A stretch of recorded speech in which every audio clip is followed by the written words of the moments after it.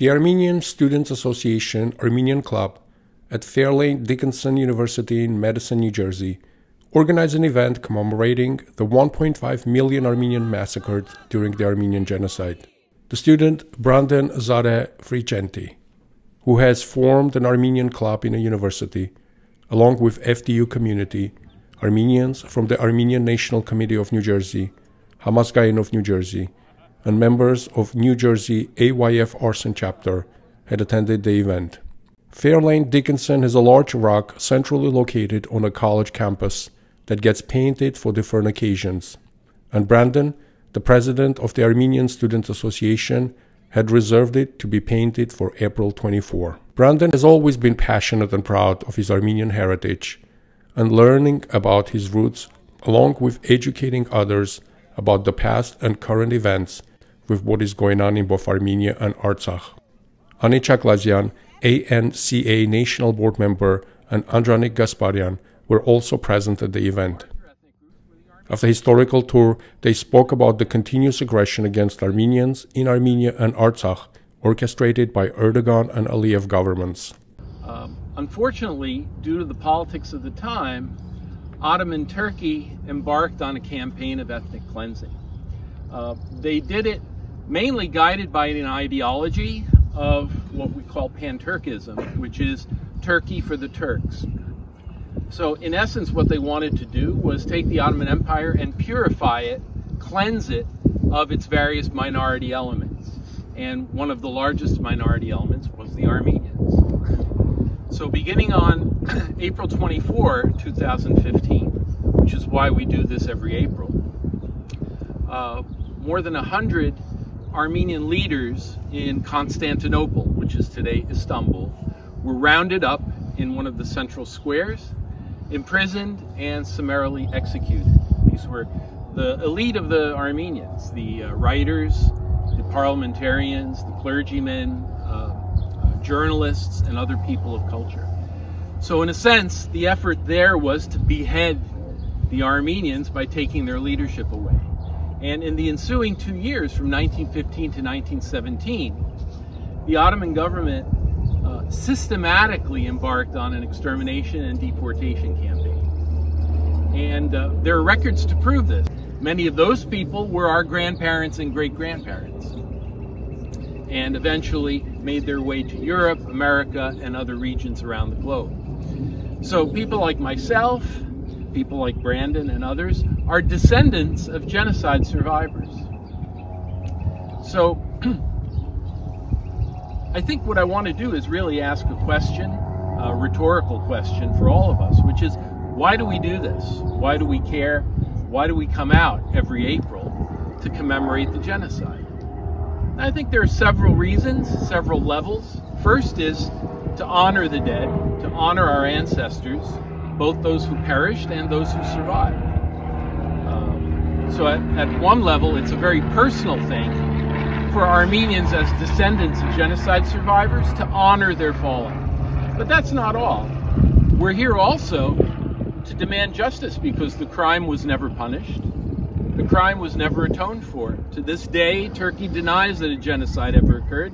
In fact, Turkey uh, kind of cleverly flips the script and says that Armenians actually massacred Turks, that Armenians were the aggressors. So they try to create this wall of denial or this tissue paper of denial to avoid responsibility for the crime. The genocide is not just a historical issue, it's an issue that has present day relevance today.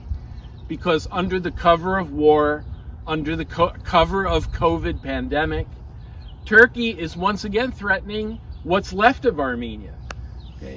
Um, that territory, Eastern Anatolia, 80% of it was wiped clean of Armenians.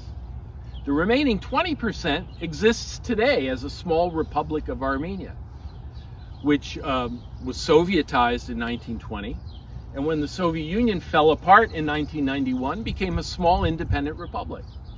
That small republic of Armenia and Armenians in surrounding territories, namely Karabakh, which Armenians call Artsakh, are today under mortal threat from Azerbaijan, who are Turkic peoples, And Azerbaijan's primary support uh, source, primary ally, is Turkey.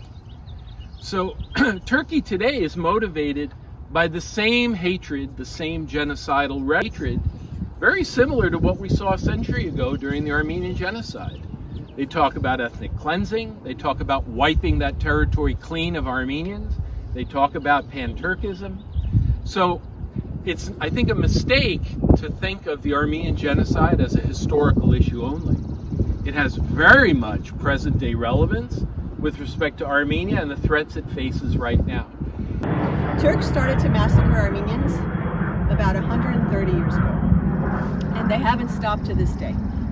Uh, it, this isn't the kind of thing where, you know, you open a history book, you read about some, you know, war that happened in 1842 or, you know, the uh, American Revolution, this, that, and it's sort of on paper and it's two-dimensional.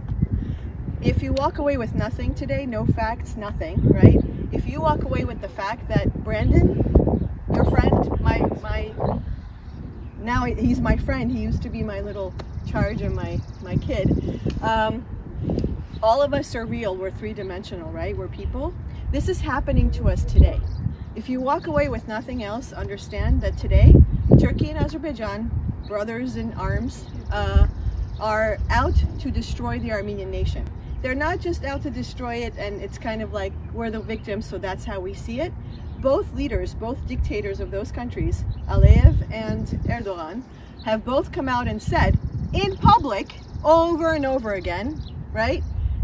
We are going to finish the project of our forefathers. We are going to finish the project of our forefathers. That's like a neo-Hitler coming out today and saying we're going to finish what the Nazis started. That's what the equivalent of it is today. It's happening today, every day. Every day Azerbaijan continues to attack Artsakh with the support of Turkey, with drones, with ISIS fighters that they've hired, that they give bonuses to for beheading Armenians. We're talking about modern day. This isn't some story from 100 years ago anymore, right? But it's the exact same story that continues today. So when you see something in the paper that says Artsakh or Nagorno-Karabakh, if you see something about a conflict between Armenians and Turks, it's not a conflict. It's a one-way war to annihilate the Armenian nation.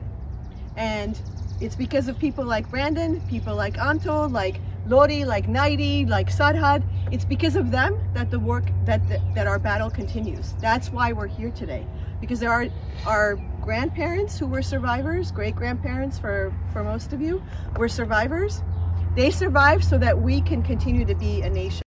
The stone painted with Armenian and Artsakh flags, an inscription demanding justice, will remain painted on a rock in a central part of the university for one week to show the FDU multinational community that the memory of the innocent Armenian martyrs remains alive today.